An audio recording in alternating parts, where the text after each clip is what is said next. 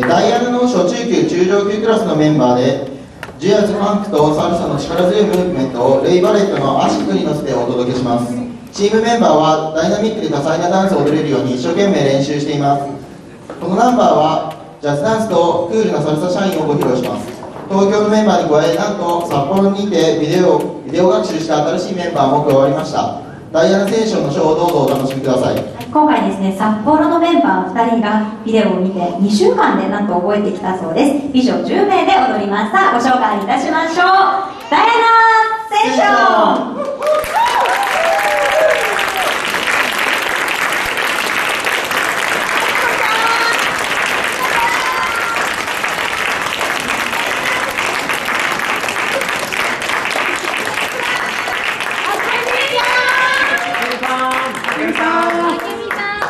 アッ